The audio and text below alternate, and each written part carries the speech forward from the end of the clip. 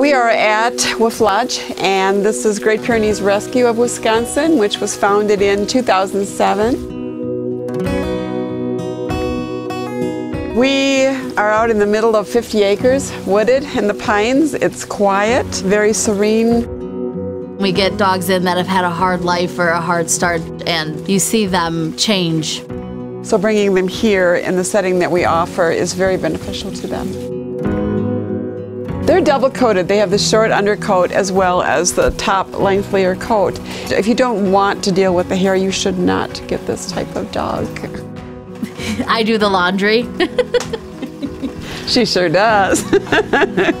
It's like when my scrubs for work would come back, they'd be all dog hair and linty, and I would always have to take the lint brush and clean them. We were used to how it used to be, and we figured that's as best as it's gonna get. Alliance contacted us saying that Speed Queen had a washer and dryer that they are looking to promote for a free donation. I thought this was too good to be true.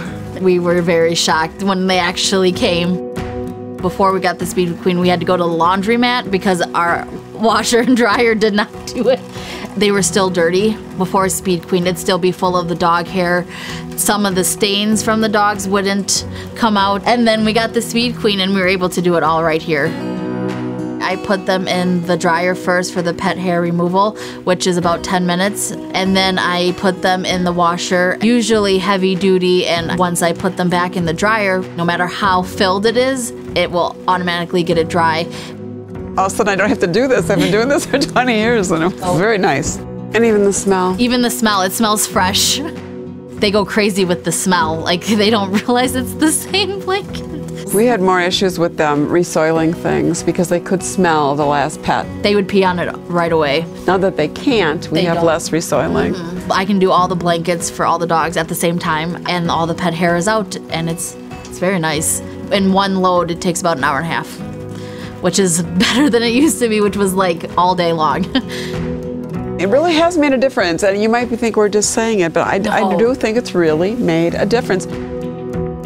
These dogs have been through a lot, and it is our responsibility that they have a good, good life.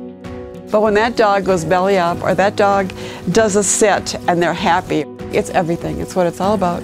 It's, it's everything. It, just, it is. It is. That's what it's about. High five. Oh.